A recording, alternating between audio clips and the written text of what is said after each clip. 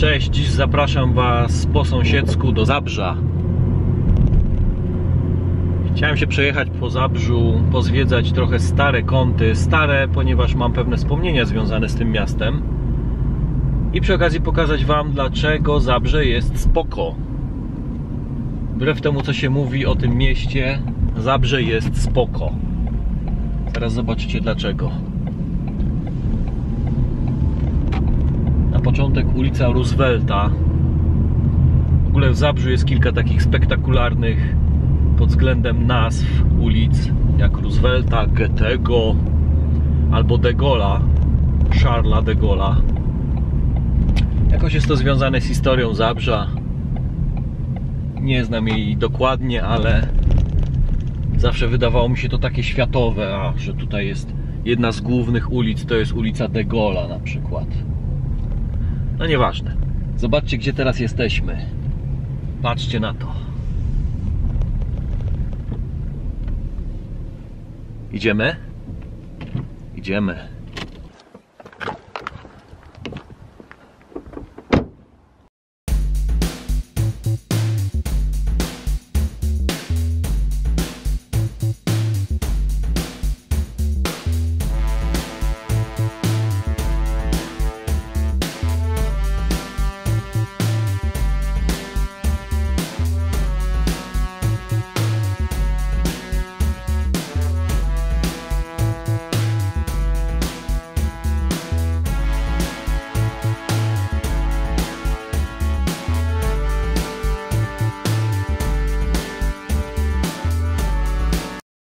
Niezależnie od tego, za kim jesteś, to jednak ten stadion robi wrażenie. Zwłaszcza w taki dzień jak dziś, kiedy jest tu zupełnie pusto i cicho. Naprawdę cicho i pusto.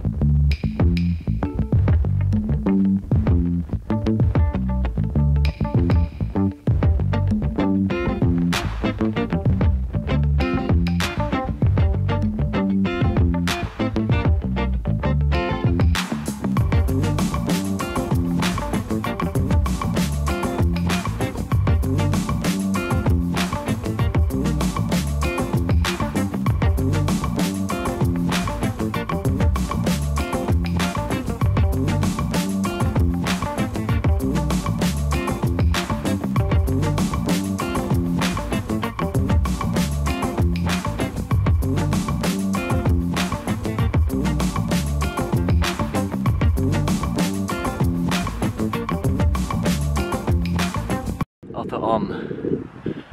Człowiek ze stali.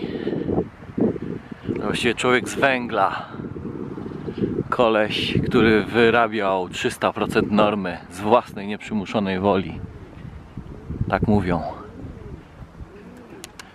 Wincenty Pstrowski.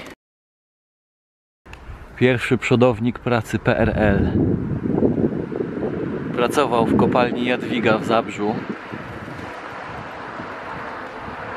I jeszcze go nie zdjęli z tego pomnika. Chyba dobrze. Bo koleś naprawdę wierzył w to, co robił.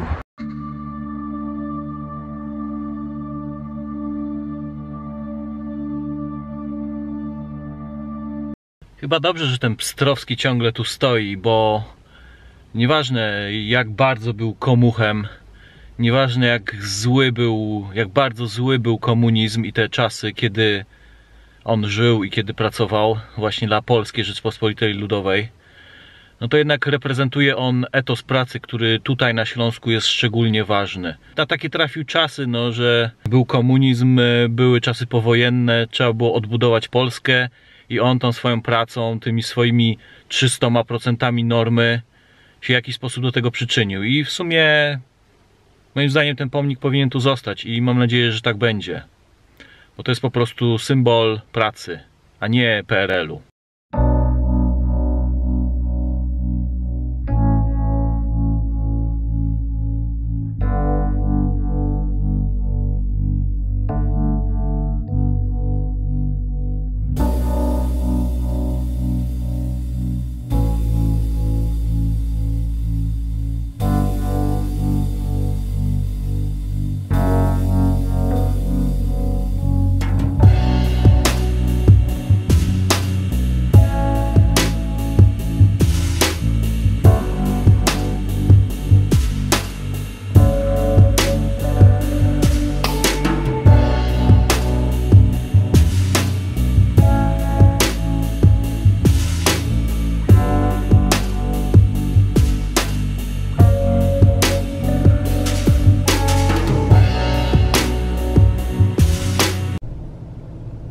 To jest Stare Zabrze, Zantka.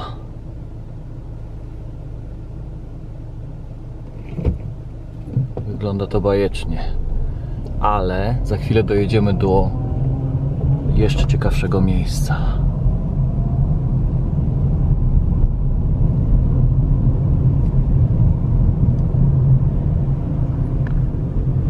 Już tu kiedyś byliśmy przy okazji pewnego filmu, ale mogliście nie zauważyć. Wygląda zupełnie niepozornie, prawda? No to chodźcie zobaczycie, z czego jest zrobiony ten dom.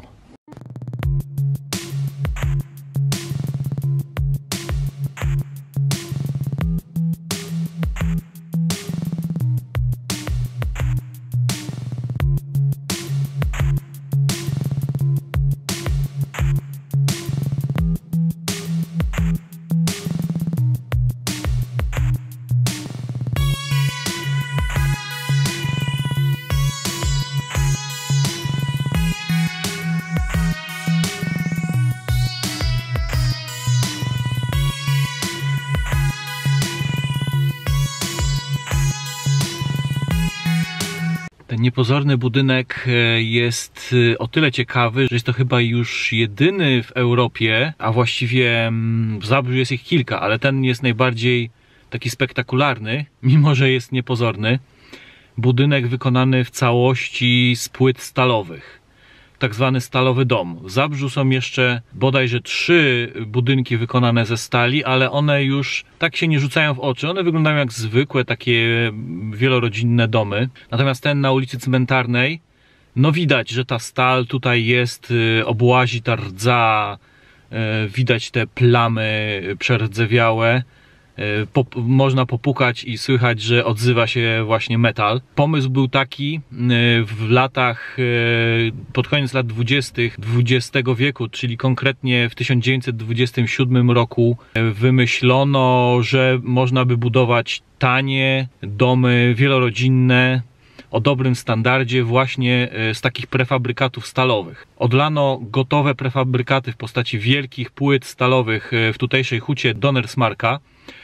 Przywieziono je tutaj na miejsce, połączono ze sobą, no i powstał dom. Dom stoi do dzisiaj, czyli 90 lat. Jest zasiedlony, mieszkają w nim rodziny. Ponoć, tak jak czytałem na różnych forach, no mieszkanie tutaj nie jest specjalnie wygodne, ponieważ w lecie te płyty stalowe bardzo się nagrzewają, więc w środku jest gorąco, jak w takiej stalowej puszce. No a w zimie jest zimno, więc trzeba było to od środka docieplać. No i są też problemy z sygnałem radiowym, więc w domu praktycznie nie da się rozmawiać przez telefon komórkowy, ponieważ te stalowe płyty po prostu zagłuszają całkowicie sygnał.